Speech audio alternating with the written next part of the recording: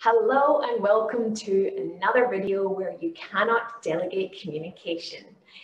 I'm Melanie Wood and I am your communication and leadership speaker. Now today I want to focus on a question that I'm asked all the time. How can I be a better communicator? Is where people ask me all the time.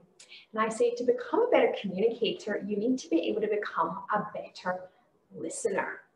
So they become partnered, listening and communicating. But the more that we can listen, the more that we speak, the better the communicator you're going to be. So if you are a manager, leader, emerging leader, or business owner with teams, then stick around for this video today where I'm going to be able to teach you three steps to have coherent communication.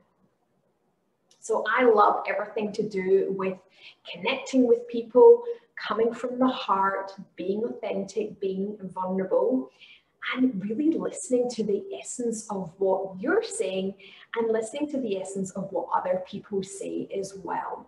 So if you find that in your organization, people are continuously jumping in and finish, finishing your sentence, or you find yourself jumping in and finishing their sentences without actually listening, or in your head, you know what you're going to respond with, so then you're not present listening to that person and what they're saying.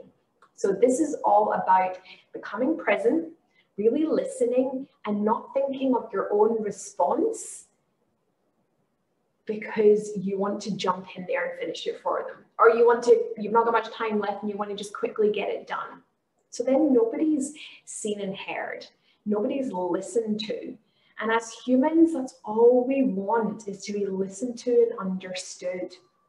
It starts with you and it starts with your teams to lead that way. So it's time to step up, step out, and lead yourself and lead your teams with coherent communication.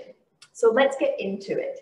So step one is really about planning and preparation before you even begin that conversation or begin that meeting. You want to set an intention of what you want out of the meeting or conversation and what you want other people to gain from it as well. So you want to be, might be for you, respectful of others' views and situations. You might have people that have different ideas, suggestions, opinions. It doesn't mean that yours is wrong. It means that you want to have open communication. So again, in other videos, we've spoken about psychological safety. Then this is one of them to be able to have that respect for everybody in that scenario. So number one, set an intention of what you want to create in that conversation or meeting and come into it with an open mind of what's the other person going to bring and be okay with that as well. So then we move into step number two is that planning and preparing, having time before going into that meeting or that conversation. Because if you're putting fires out, running from one thing to the next, and then you go into a meeting, you've not even had a chance to do number one, set the intention, and your tone, and the same for everybody else, tone might not be genuine it might not be considerate of other people because stress levels have risen. It's another thing that you have to do and everybody else has to do as well. So what are you going to say and how might it affect other people? So it's all in the planning and preparation. You really want to think about what do they need to know? What's the essence of what I want to say? And what's my point that I want to get across today? That's number two. Step number three is that once you have communicated what you need to communicate, then this is where you really want to listen to the essence. This is where the active listening comes into it. Reflect the essence of actually what you're hearing from everybody else coming back to you and open to refinement and also to get that confirmation of mutual understanding. So it's the downfall and the gap that I see all the time when I work with clients is that going into meeting and there's been no not much planning and preparation and then you have the meeting and then the things actually aren't getting done that you have asked people to get done. Or people come back to you and they have all the excuses of the reasons why they can't do it and all of these. And then you start to maybe get defensive or barrier comes up because you're wanting to react or to respond without listening to the essence of what they're saying.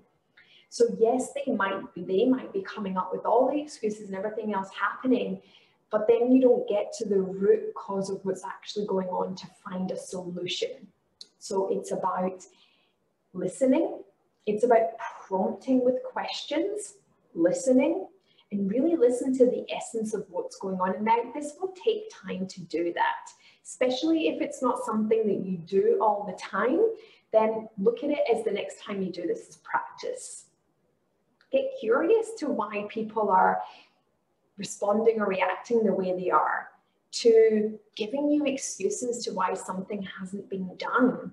And there's something else going on and they're just not able to communicate that to you. So it's then up to you to listen for the essence, prompt with questions, and really get to that mutual understanding of where the team is, you are, the other person is, and coming to that solution together so that it's not one person making demands, telling, but it's also, again, you want to have boundaries as well. And if you don't come to a solution there and then, come back to it another day but I really want you to think about what's not being said.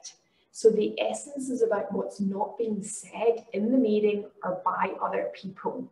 That's where you really want to get to. In the prompting questions is having open-ended questions and not using lines like, um, does that make sense?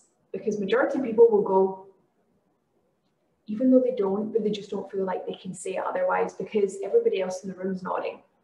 And that person doesn't want to be the only one saying no.